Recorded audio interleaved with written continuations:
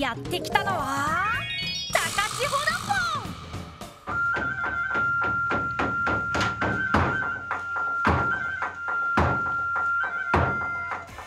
神々の里とも呼ばれる宮崎県高千穂。夜神楽は国の重要無形民族文化財にも指定されています。ゆらりゆらりとボートに揺られる忍者ポン。視線の先にはマナイの滝が。高千穂峡の神秘的な渓谷美が神話の世界へと誘ってくれます。阿蘇の噴火による溶岩が浸食されてできた渓谷がおよそ7キロにわたって続いています。高千穂で神々に触れてほしいんだもん高千穂の名物料理といえばかっぽ鶏。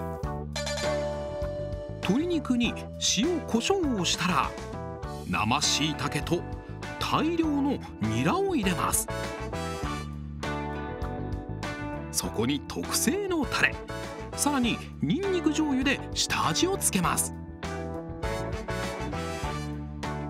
それをよくかき混ぜる一方でこの料理に大切な何かを調達しなければなりません。それでは気をつけて作りましょう。ここで問題地元でカッポと呼ばれるかっぽ鶏料理に欠かせないあるものとは一体何でしょう？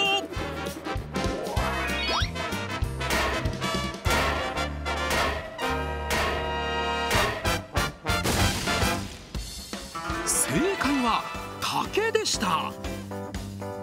混ぜ合わせた種を竹の器に詰めたら蓋をしてから炭火にかけます。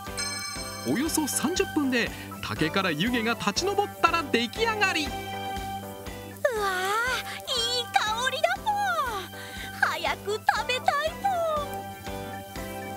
竹の箸でお召し上がりください。美味しそうだぽ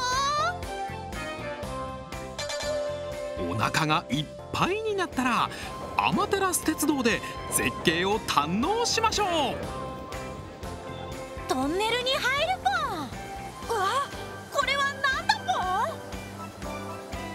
トンネルの中にはカラフルなイルミネーション。トンネルを抜けると今度はシャボン玉。幻想的なアマテラス鉄道の旅がお楽しみいただけます。絶景だ。